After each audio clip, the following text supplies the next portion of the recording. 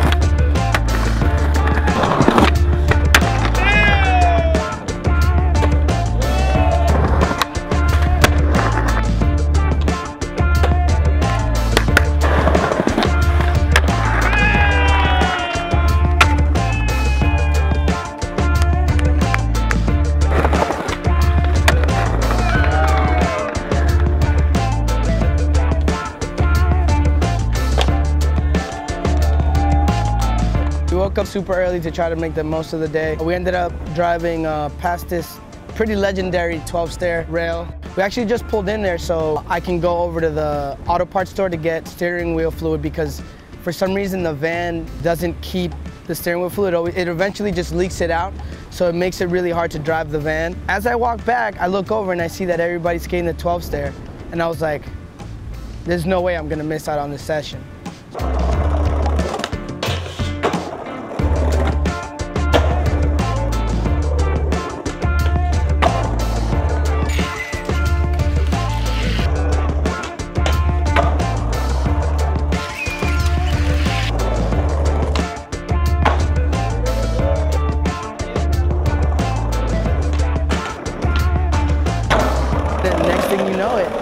Ray's tying his shoe super tight and I'm looking at him like, what's he doing? And he looks over to me, he's just like, I'm gonna caveman the rail. And I'm like, kind of looked at him like, hey, if you're hyped and you feeling it, you know, go for it, you know? The first three he has pretty perfect. He's like on top of it. You know, he, caveman kind of leans back a little bit, slips out, kind of a little scary. We're like, oh, but he got it because he already slid too perfect, you know? And then next thing you know it, he just jumps on the rail, leans back and we're like, kind of a little work. Because for that split second, you kind of like, and then boom, he like, as he's leaning back, he falls back on his foot and you just hear a pop noise. No way! Must be that man. Oh shit. Grabbing his leg and he told us he broke his leg. Uh, we just sat there and tried to make him as comfortable as possible and then the ambulance came I took him away.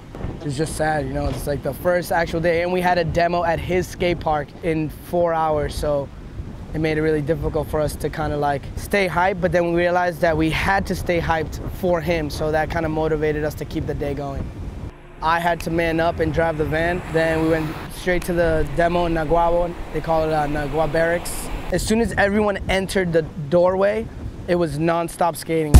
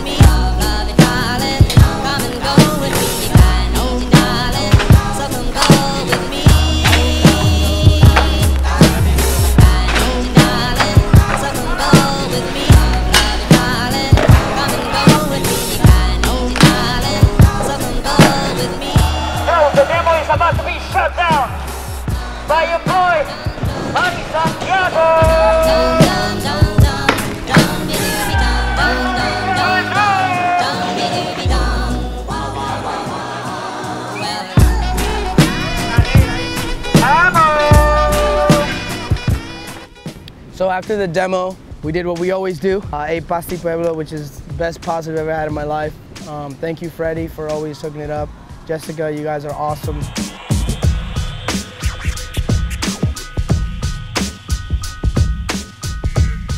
Wednesday we woke up. We knew that we had to get one good solid day of street skating. There's this one hubba that Felix has been barreling in Coamo. We get there, it's a little damp, not too bad, so we just kind of waited out. You have Felix going this way, you have Jordan Hoffart going this way. Oh, man, it was a good session.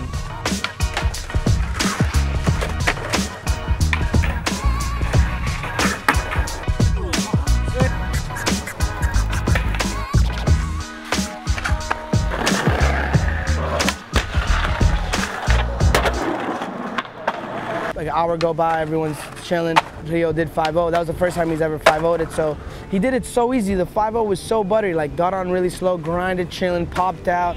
Just it, it looked like he could. He's done it a million times. I was like, oh, do 5 180 because I know he could do those tricks. So he's like, yeah, I'm gonna do it right here. He rolls up 5-0s. Because I think he got a little scared, when he got into the 5-0, he got stuck. So it threw him the opposite way. He started to fall backwards. At that point, he was holding his arm, and I looked at his arm, and he broke his arm. His dad ran over Freddie. He's like, he's like, I broke my wrist, and Freddie's like, just calm down. He calmed down. He didn't freak out. For a, you know, 13-year-old kid, you break your arm, and you don't even care about your arm. You just, you care about the fact that you can't continue on the skate trip. You know, he's really brave, and um, you know, I wish him nothing but the best. A speedy recovery.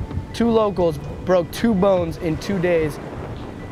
Thursday comes around, we have another demo in Sanghen Mountain, which is west of the island. So we get this one big mountain, we're going, we're trucking all the way up. The van starts smoking. Pull off the road, park, the van starts really smoking.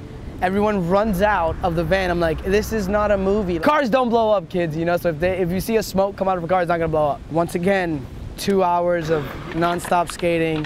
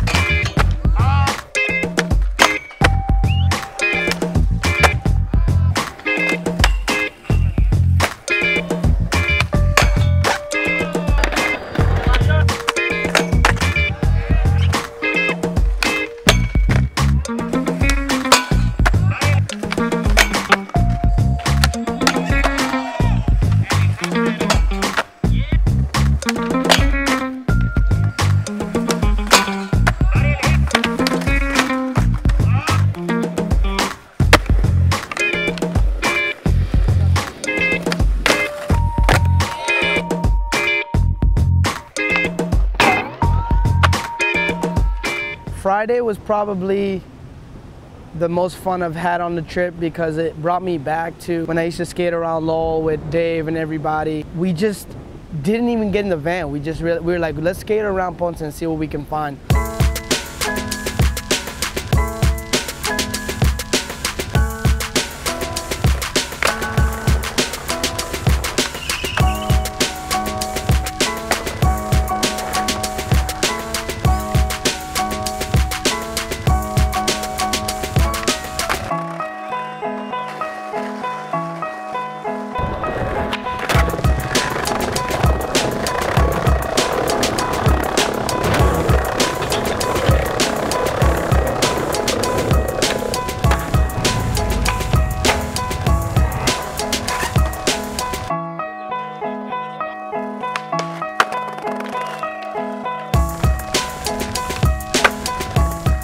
Ended up skating around this, the town for like four hours just getting tricks.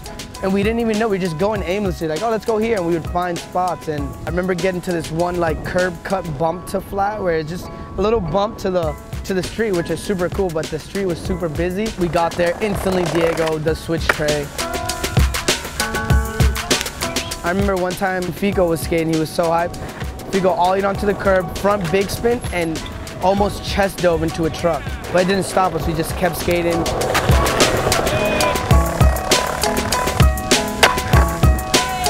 I don't know, I was like so happy that I didn't care about the cars, I didn't care about falling. I was just like, oh, I'm just gonna try this. And I don't know, I think it was like three tries and I don't know, backside 180 lay flip. Second one I've ever done, last one was like 10 years ago.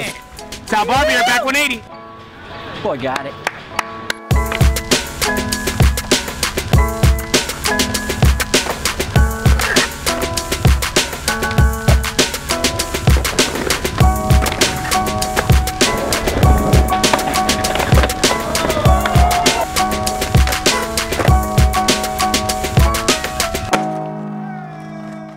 So we wake up super early Saturday. The whole reasoning why we're all here, third annual Prince Puerto Rico and Ponce. It's just it's here. The day's finally come. We get there like 10:30. They Start setting everything up. Bring the boxes out, the tent, the banners. The food trucks came. You start start seeing filling up. All the skaters were coming in slowly, but sure they were all coming in. 12 o'clock rolled around, we had all the little kids sign up, which they're called the Koki, which is the frog of PR. I thought it was really important to get the, the little kids to skate because that is the future of the skate scene in PR, so we have to bring awareness to that. This one little kid, Goldo, who is like the littlest, but the biggest kid there because he like tries anything. So even at one point he got sacked on the rail, he just kept skating, he didn't even care. So he killed it, he got third place. Jamal, who's um, the local, was just kicked from front board to bump the flat bar, uh, board side the rail. He ended up with second. He made me super proud. Then this kid Felipe, who had just met, he was killing it. And then out of nowhere, pressure flipped the nine stair.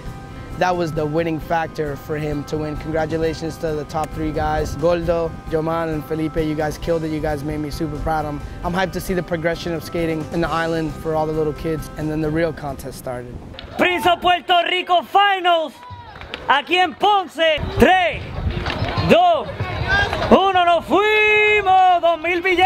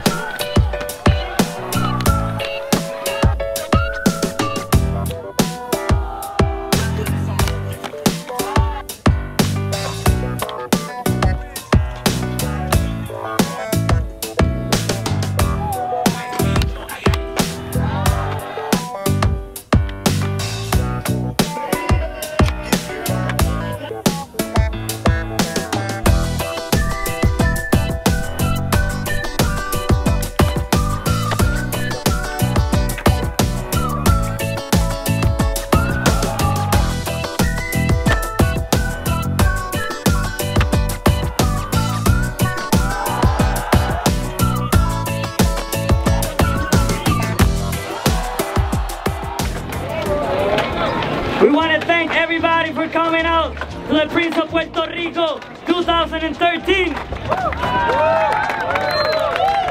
We want to thank the Sheckler Foundation. And of course, Manny Santiago. Todo el mundo un aplauso para Manny. Best trick in the finals. Tito Lumen from History from Florida. Best trick, best trick. Third place. Desde Sidra, Puerto Rico, José Chiqui Colón. ¡Eh! ¡Un aplauso para Chiqui!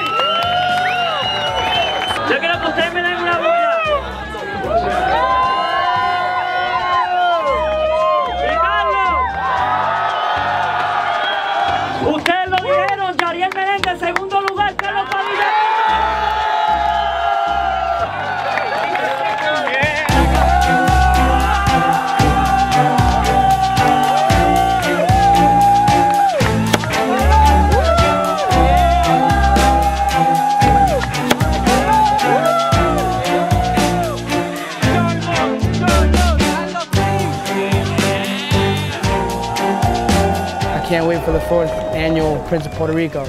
We don't know where the next one's gonna be. We don't know who's coming on the trip.